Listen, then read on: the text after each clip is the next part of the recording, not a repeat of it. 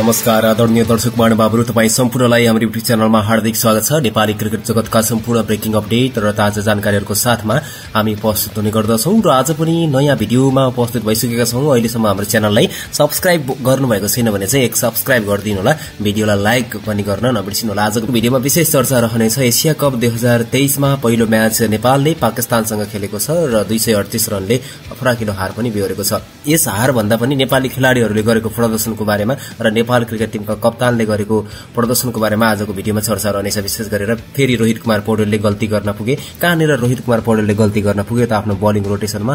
त्यसपछि सबै बलरहरू महँगो हुन पुगे। यसको विषयमा चर्चा रहनेछ र साँच्चीकै रोहित कुमार पौडेलले आफ्नो कप्तानीमा मिस क्यालकुलेट गरेका हुन्। सही कारणले गर्दाखेरि करण केसीको एक ओभर बच्यो।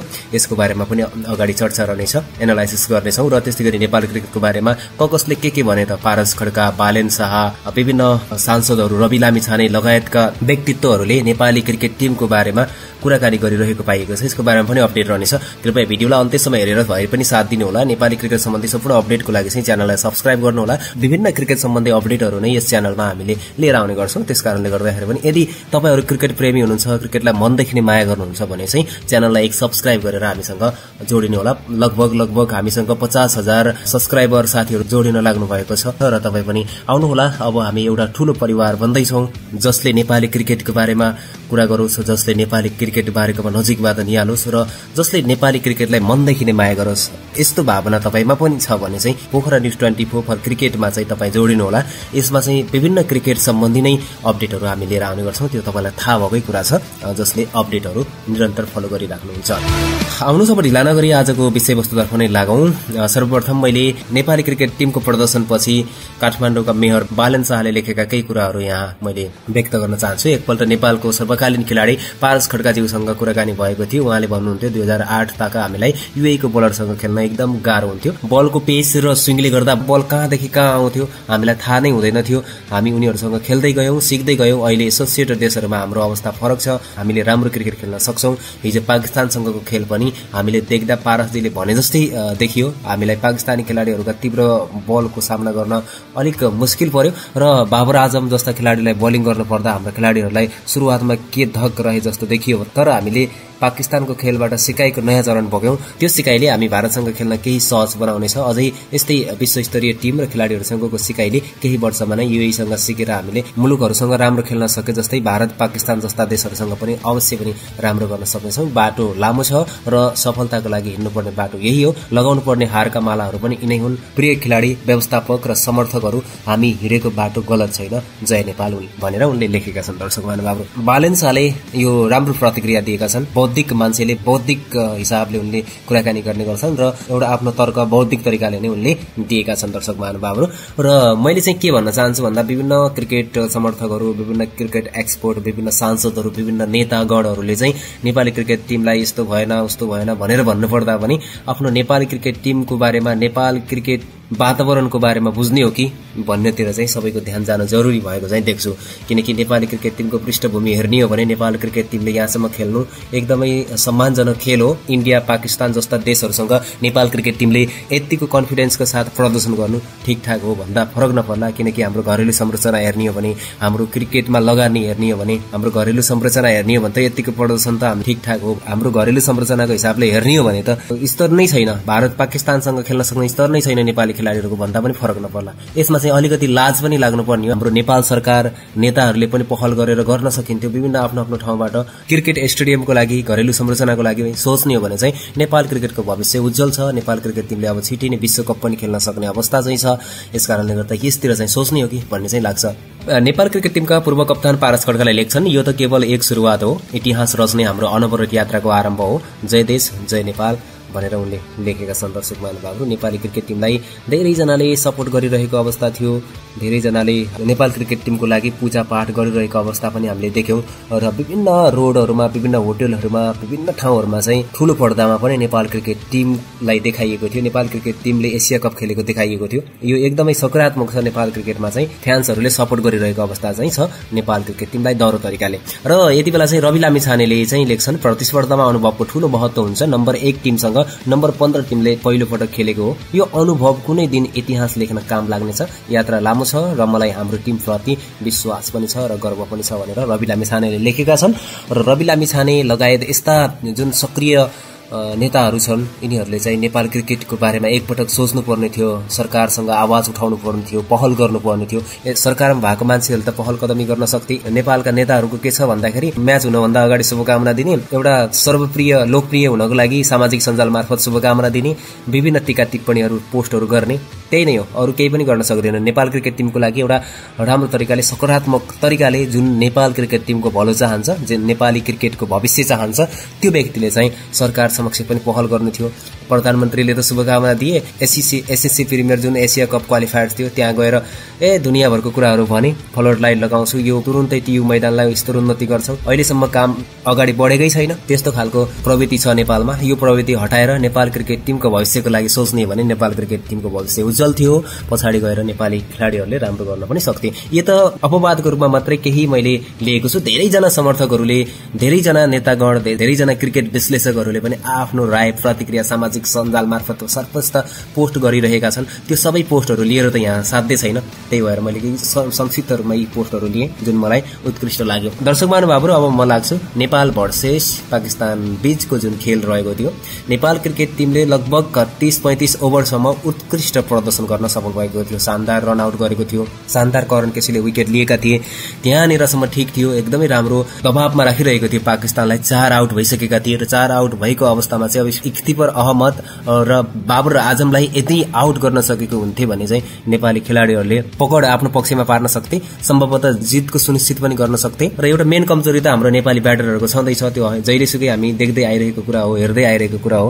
त्यसमा कुनै डाउट छैन। नेपाली ब्याटरहरूले सङ्घर्ष गर्ने गर्छन्। तर पाकिस्तान विरुद्धको खेलमा पनि नेपाली ब्याटरहरूले यदि जिम्मेवारी पूर्वक ब्याटिङ गर्न सक्थे भने चाहिँ सोमपाल कामी र आरिफ शेख जत्तिकै पनि ब्याटिङ गर्न सक्थे भने त्यति पनि पार्टनरसिप हुन्थ्यो भने दुई सय प्लस दुई सय पचास भन्दा माथिको स्कोर नेपाल क्रिकेट टिमको जान सक्थ्यो। सबैजनाले छक्का प्रहार गर्ने धुनमा आउट भए किन यसरी खेल्नु पर्थ्यो ओडिआई थियो। हाम्रो टिमको विकेट गइरहेको थियो र त्यस्तो अवस्थामा चाहिँ नेपाली ब्याटरहरूले जिम्मेवारी पूर्वक ब्याटिङ गर्नु पर्दथ्यो। जसरी अब त्योभन्दा अगाडिको इनिङमा बाबर आजमले जसरी खेले त्यसरी नै खेल्न सकिन्थ्यो। त्यहाँबाट सिक्ने भन्ने कुरा त्यही हो नि त। नेपाली खेलाडीहरूले नेपाली कप्तानले हामी सिक्नेछौँ इन्डिया पाकिस्तानसँग खेल्नु नै ठुलो उपलब्धि हो। हामीले उनीहरूबाट धेरै कुराहरू सिक्न पाउनेछौँ भन्ने कुराहरू गर्ने तर पुरै एक इनिङमा उनको ब्याटिङ हामीले देख्यौँ कसरी धैर्यता लिएर ब्याटिङ गरे। उनको रनै बनेको थिएन पहिला। पचास बलमा उनले बाइस रन बनाइरहेको अवस्था थियो बाबर आजमले। पछि हेर्नुहोस् कसरी अट्याकिङ गरे उनले कसरी अट्याक खेले। एक सय पचास रन एक सय दस बिस तिस बलमै उनले बनाइदिन्छन्। जबकि सुरुवातमा उनले बल धेरै खाइरहेका थिए रनै बनेको थिएन उनले। हाम्रो नेपाली ब्याट्सम्यानहरूले त्यो सिकेको खै त्यसलाई लागू गरेको भए यदि नेपाली ब्याटरहरूले पनि राम्रो गर्न सक्थे। मलाई जहाँसम्म लाग्छ कुशल भुर्तेलले गलत शब्द प्रहार गर्न पुगे। त्यो जुन वाइड गइरहेको बल थियो।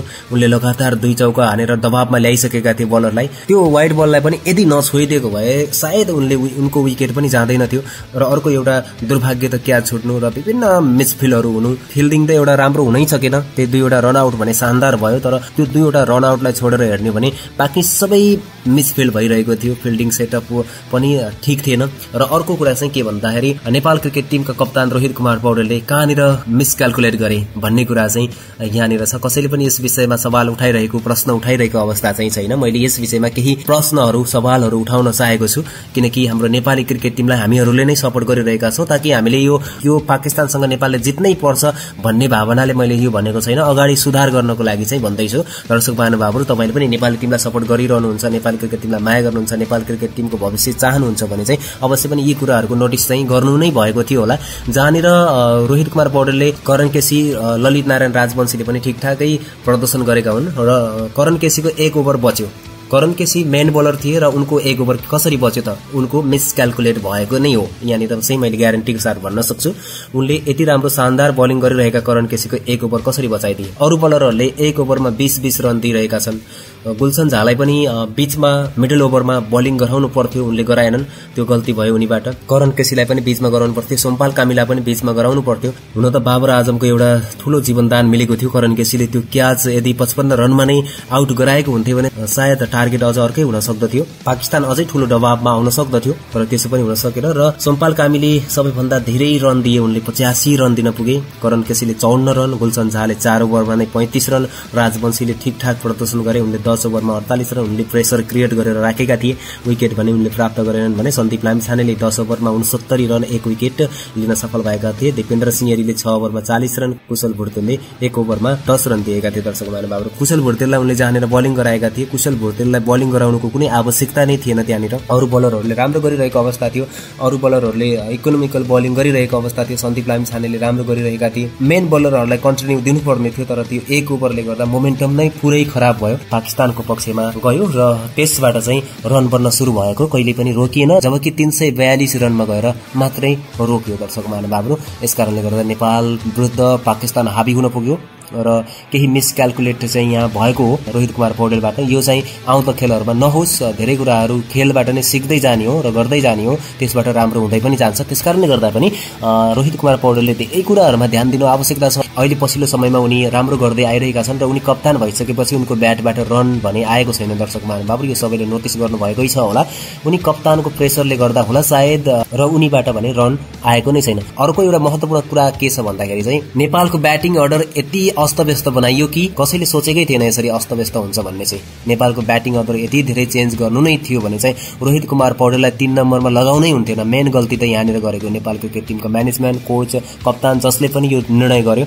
यो एकदमै गलत थियो। रोहित कुमार पौडेल कहिले पनि तीन नम्बरमा ब्याटिङ गर्दैनन्। पाकिस्तानको एक सय पचासको स्पिडको बोलरहरू सामु नम्बर तिनमा उनलाई ब्याटिङको लागि पठाइयो। यो नै सबैभन्दा ठूलो गल्ती थियो। यसमा चाहिँ मैले त जहाँसम्म सोचेको थिएँ नम्बर तिनको लागि भीम सार्की नखेलेको खण्डमा चाहिँ आरिफ शेखले तीन नम्बरमा खेल्नेछन् भनेर सोचेको थिएँ तर त्यसो हुन सकेन। आरिफ शेखलाई चार नम्बरमा पठाइयो। यदि आरिफ शेखलाई मात्रै पनि तीन नम्बरमा पठाइदिएको भए सायद एक सय चारमा Nepal cricket team all out हुनु पर्दैन। यस कारणले गर्दाखेरि नेपालको ब्याटिङ अर्डर पनि अस्तव्यस्त बनाइयो। सोमपाल कामी र आरिफ शेखलाई छोड्ने हो भने अरू ब्याटरहरूले चाहिँ त्यस्तो राम्रो खालको प्रदर्शन गर्न सकेनन्। यही नै मुख्य कारण बन्न पुग्यो। मेन त नेपालको मेन ब्याटरहरू कुशल भुटेल आसिफ शेख दिपेन्द्र सिंह एरीले दोहोरो अङ्कमा रनै छुन सकेनन्।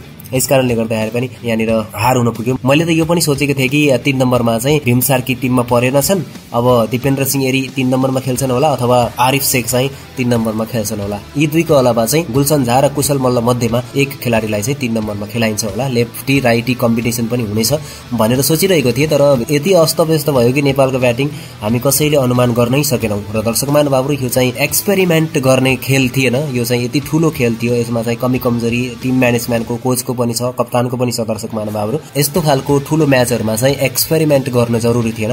यदि एक्सपेरिमेन्ट नै गर्ने हो भने चाहिँ केही पहिला चाहिँ गर्न सकिन्थ्यो तर त्यसो गरिएन।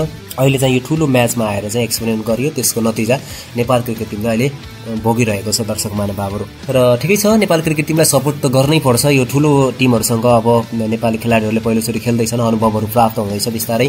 सिक्दै जाने हो र गर्दै जाने हो र सबै कुरा ठिकठाक हुनेछ राम्रो प्रदर्शन हुनेछ। योभन्दा राम्रो प्रदर्शन भारत विरुद्धको खेलमा हुन सकोस्। हाम्रो तर्फबाट धेरै धेरै शुभकामना पनि छ। र भारत विरुद्ध भीम सार्की सन्दीप जोरा मध्ये एकजना खेलाडीलाई चाहिँ टिममा खेलाउनु पर्नेछ किनकि टिममा ब्याटिङ विक भइरहेको अवस्था चाहिँ देखिएको छ। यस कारणले गर्दाखेरि तीन नम्बरको ब्याटर भीम सार्कीलाई खेलाउनु पर्ने हो कि जस्तो पनि लागिरहेको अवस्था चाहिँ सब भीम सार्कीले इनिङ होल्ड गर्न सक्दथे। सिंगल डबल रन दिएर भए पनि इनिङ होल्ड गर्थे लामो समयसम्म र पछि आउने ब्याटरहरूलाई राम्रो हुन सक्दथ्यो त्यस्तो खालको ब्याटर पाकिस्तान विरुद्धको म्याचमा नेपाली क्रिकेट टिमबाट देखिएन। त्यसकारणले गर्दाखेरि पनि नेपाल क्रिकेट टिमले पराजित हुन पुग्यो र विशेष त जिम्मेवारी विहीन ब्याटिङले गर्दा नेपाल क्रिकेट टिम पराजित हुन पुग्यो र अलिकति केही ठाउँमा खराब कप्तानी पनि भयो।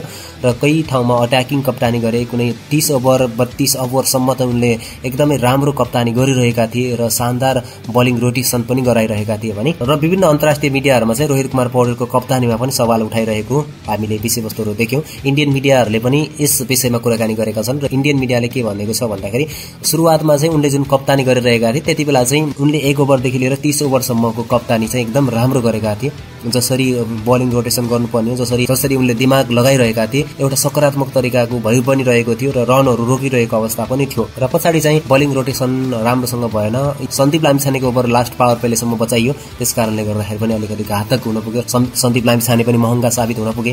करण केसी पनि पछिल्लो ओभरमा महँगा साबित हुन पुग्यो र त्यस्तै गरी उनको एक ओभर अझै बच्यो र त्यस्तै गरी सोमपाल कामी त निकै नै महँगा साबित हुन पुगे। नेपालका मुख्य खेलाडीहरूले राम्रो प्रदर्शन गर्न नसक्नु नै हारको मुख्य कारण हो। दर्शक महानुभावहरू यही भन्न चाहन्छौँ र इन्डिया विरुद्धको खेलमा चाहिँ उत्कृष्ट प्रदर्शनको लागि धेरै धेरै शुभकामना छ। दर्शक महानुभावहरूले पनि शुभकामना दिनुहोला। नेपाली टिमलाई हौसला बढाइदिनु होला अझै पनि शानदार प्रदर्शन गर्ने हो र अनुभव सिक्दै जाने हो र टेस्ट नेसनसँग हामीले बदल यात्रा सुरु गरेका छौँ।